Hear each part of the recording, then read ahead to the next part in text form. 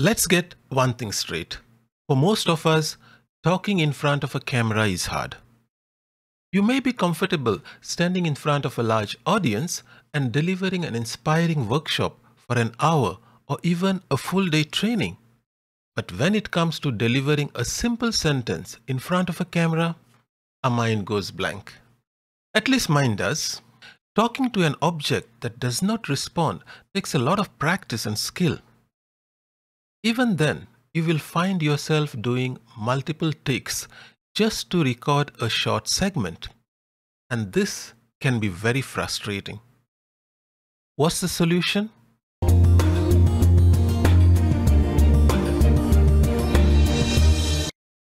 When I started my YouTube channel, I went through a steep learning curve as I realized that recording a YouTube video is not the same as delivering a speech in front of an audience. Here is a typical example of how I record my video clips. If you are an online trainer or delivering on on if you are an if you are an online trainer my thought process was that as I continue making videos, it will get easier. Well, it does, but it still requires multiple takes to assemble a video. I finally decided to try a teleprompter.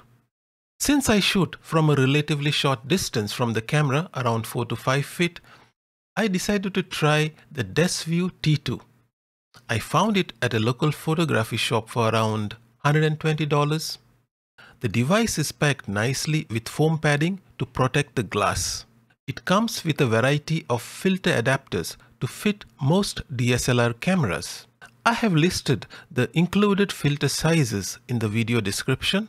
Make sure your lens matches one of the filter adapters before you decide to buy it. It comes with two attachments, one for smartphone and the other for tablet. You can use either one and if you want to switch you have to remove the screws with the included screwdriver, which is a nice touch.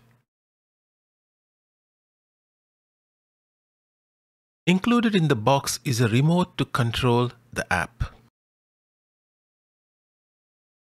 Setting up the teleprompter on my Nikon D500 is a straightforward process. I thread in the filter adapter over the lens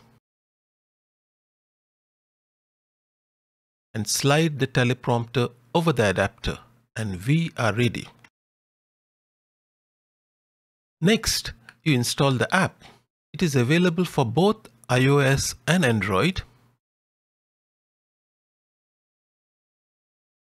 You can easily copy paste text from any document. I prepare my scripts using Google Drive. I can select all, copy and paste it into the app. Next, Connect the remote using the Bluetooth on your phone and once it is connected, you can use the remote to control the app. Next, we slide the phone into the holder and switch on the app. Set it to mirror mode and start recording. This entire episode was shot using a teleprompter. Did I manage to record everything in one take?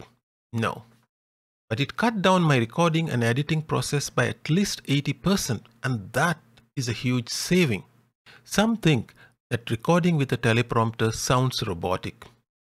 You have to balance the need of creating the right message and the time you want to invest. A teleprompter definitely helps. If you are shooting from a short distance from the camera, I have no hesitation recommending the Desview teleprompter.